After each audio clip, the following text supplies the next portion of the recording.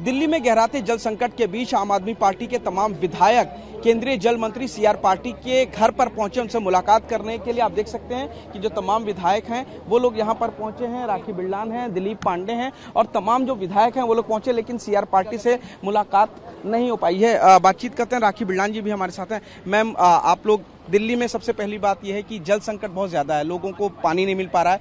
आप तमाम विधायक लोग भी इकट्ठे होकर के आज सीआर पार्टी से मिलना है। क्या मुद्दे हैं, क्या बातचीत देखिए, निश्चित तौर पर आपने अपने सवाल में ही मुद्दे को बता दिया है कि दिल्ली के अंदर जल संकट गहराया हुआ है और पाटिल साहब अभी नए नए जो है, जल शक्ति मंत्री बने हैं। तो इनके समक्ष सिर्फ़ हम दिल्ली की जनता की गुहार लेकर आए थे, दिल्ली की जनता की समस्या का समाधान हो, इस आशा से, उम्मीद से आज हम इनके समक्ष आए थे। कल हमने चिट्ठी भी लिखी थी कि आप हमसे मुलाकात का हमें समय दीजिए। अंदर से रिसीविंग भी ओके कर कर आई थी बट आज दुर्भाग्यपूर्ण हो सकता उन्हें कोई और ज़्यादा महत्वपूर्ण काम हो, वो वहाँ चले गए। लेकिन आपके चैनल के माध्यम से सिर्फ़ मैं इतना उनसे प्रार्थना, विनती करना चाहती हूँ कि इतनी गंभीर तपती जो गर्मी है इसके अंदर जो है, जनता दिल्ली की जिस प्रकार से त्राहीमाम त्राहीमाम की स्थिति में है, दिल्ली की हमारी जो जल मंत्री हैं, वो लगातार जो है, समन्वय स्थापित कर रही हैं। अधिकारी लगातार फ़ील्ड पर लगे हुए हैं। एक एक विधायक, एक एक पार्षद साथी लगातार जो है, जनता के बीच में समस्या के समाधान के लिए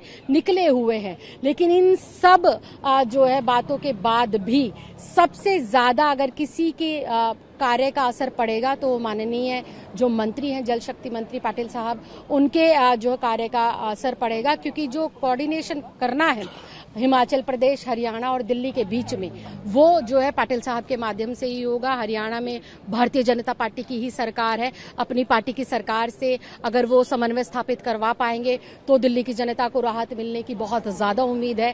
किस प्रकार से मुनक नहर पर पानी को रोका जा रहा है, उसके ऊपर जो है प्रशासनिक दबाव बनाकर उसके ऊपर प्रशासन के माध्यम से किस प्रकार सख्त से सख्त कार्रवाई की जाए, वो माननीय पाटिल साहब के माध्यम से हो, संभव हो पाएगी। किस प्रकार से रेत माफिया जो दिल्ली के बॉर्डर के साथ यूपी का लगता हुआ गाँव है, वो किस प्रकार से जो है यमुना के जल को रोक कर अवैध खनन कर रहा है, उसके ऊपर भी यूपी की अपनी सरकार के साथ समन्वय स्थापित कर कर कार्रवाई करने का काम भी पाटिल साहब के माध्यम से ही किया जाएगा। कुल मिलाकर कहने की बात सिर्फ़ इतनी है कि अगर पाटिल साहब चाहें तो चंद घंटों के अंदर ही दिल्ली की ये जो आपूर्ति जल जल की है, दिल्ली के अंदर जो जल का संकट गहराया हुआ है, ये इसका समाधान निकाला जा सकता है और हमें पूरी उम्मीद है कि हम जितने आज विधायक साथी यहाँ आए हैं और पूरी दिल्ली की जनता की आवाज़ को यहाँ लेकर वो उस आवाज़ को सुनेंगे भी और उसका संज्ञान भी लेंगे। मैम, एक बड़ा सवाल ये है मेरा। तारीख बदल रही है, दिन बदल रहे हैं, लेकिन हालात और तस्वीरें वैसी की वैसी हैं। दिल्ली के कई इलाके ऐसे हैं जहाँ पर टैंकर के इंतज़ार में लोग घंटों खड़े रहते हैं और जैसे ही टैंकर आता है, उनमें आपस में मारपीट मच जाती है। ये कब तक चलेगा, उनकी क्या गलती है? देखिए, मैं बार बार इसी बात को कह रही हूँ कि जनता की गलती कुछ भी नहीं है।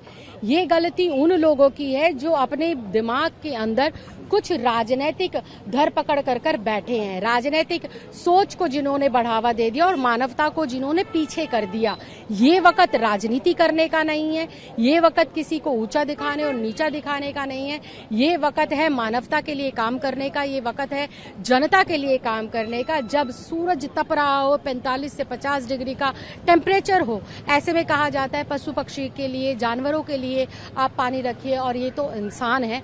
दिल्ली देश की राजधानी राजधानी की सम्मानित जनता है। इस सम्मानित जनता को किसी भी प्रकार की कोई दिक्कत ना हो। ये पूरी केंद्र की सरकार की, केंद्र के सरकार के मंत्रियों की, राज्य सरकार की, राज्य सरकार के मंत्रियों की, दिल्ली सरकार की और दिल्ली सरकार के मंत्री, विधायक और पार्षदों की प्राथमिकता होनी चाहिए। और दिल्ली सरकार की ये प्राथमिकता है, ये आप डेली देख रहे हैं। दिल्ली सरकार के मंत्री हों, दिल्ली सरकार के विधायक हों, दिल्ली सरकार के पार्षद हो, दिल्ली सरकार के अधिकारी हो एकदम जैसे सुई की घड़ी की सुइयाँ हर एक मिनट अपना समय दिखाती है और दौड़ती रहती है। ऐसे ही घड़ी की सुइयों की तरह पूरा का पूरा शासन, पूरा का पूरा प्रशासन दिल्ली का, दिल्ली की जनता की सेवा के लिए लगा हुआ है। ज़ाहिर तौर पर आम आदमी पार्टी से राखी बिल्डान यहाँ पर पहुँचे और तमाम जो विधायक हैं, वो लोग यहाँ पर पहुँचे हैं। सी आर पाटिल के घर पर बाकायदा फोर्स लगा दी गई है। फिर सी आर पाटिल किन्हीं वजहों से मिल नहीं पाए हैं विधायकों से, लेकिन विधायकों ने आकर के यहाँ पर अपनी बात रखी है। किस तरीके से दिल्ली की जनता पानी के लिए त्राहिमाम करिए, ये एक भयानक तस्वीर है। कैमरामैन नदीम के साथ पुनीत शर्मा, टीवी नाइन भारतवर्ष, दिल्ली।